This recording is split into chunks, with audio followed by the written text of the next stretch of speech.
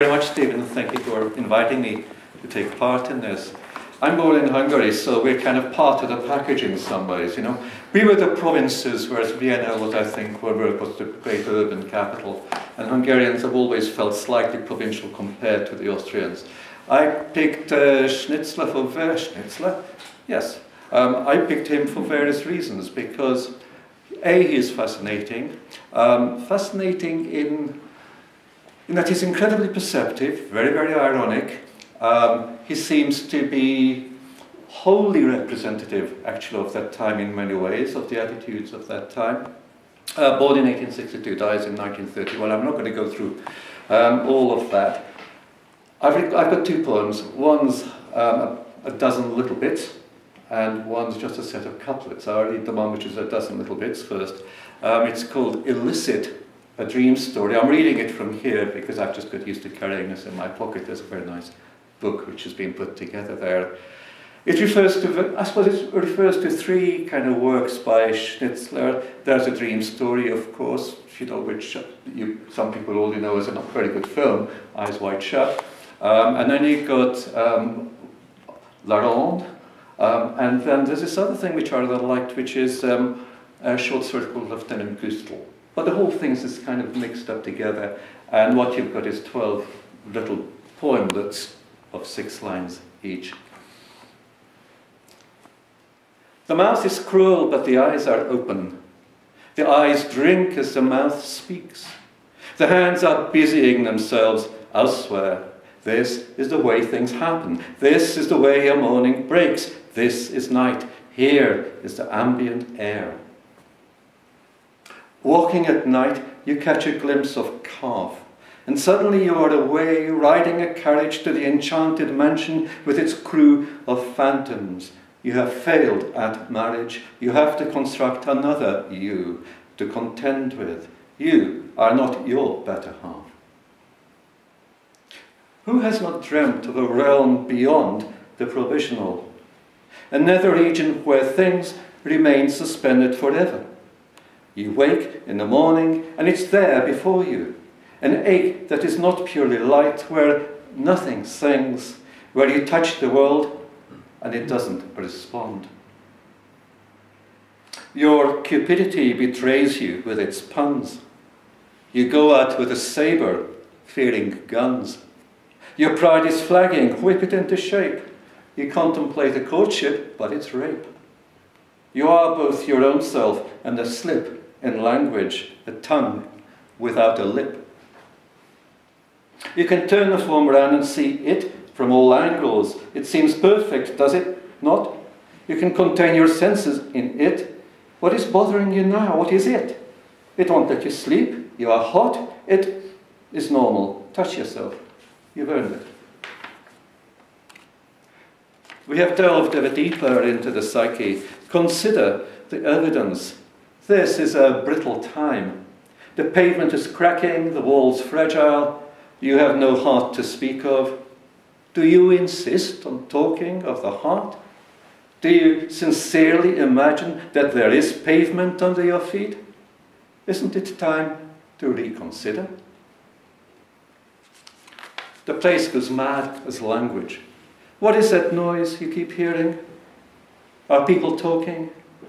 Is a cafe a hubbub of conversation? Is there a cliche emerging from your mouth? What is that bubble you keep blowing?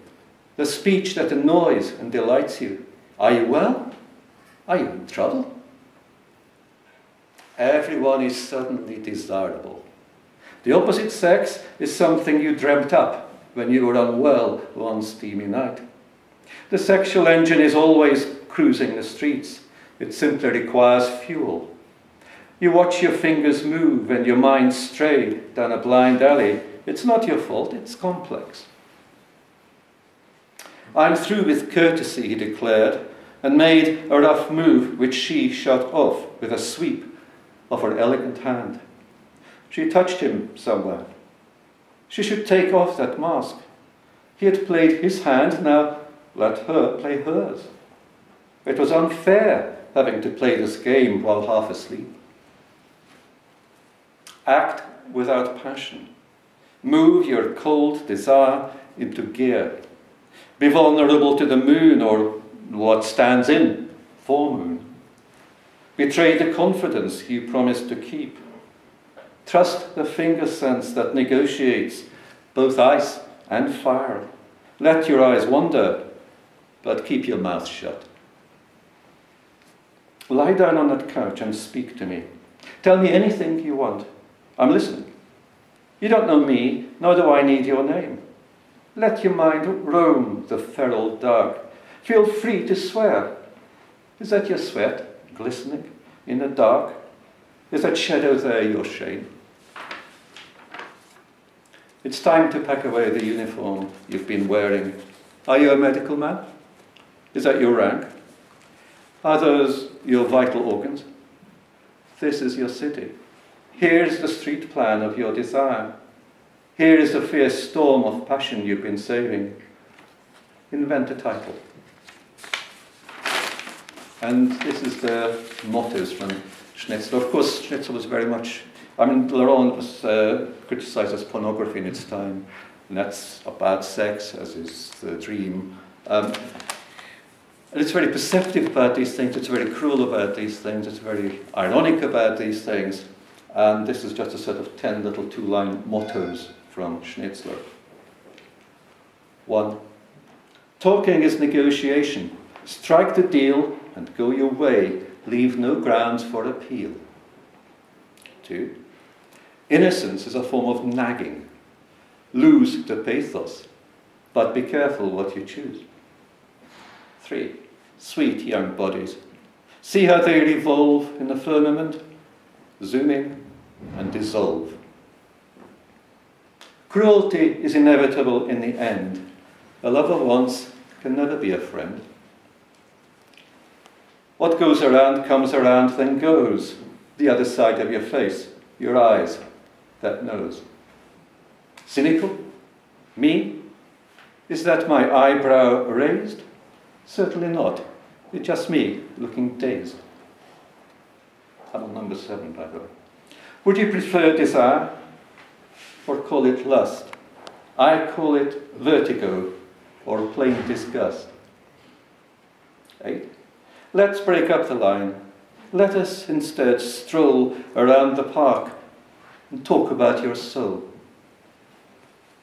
I prefer a motto to a top hat. I prefer an indiscretion, leather perhaps, or fur. I'm going to sleep. I'm off to dream the light inside my head, where it is never night. Thank you for listening.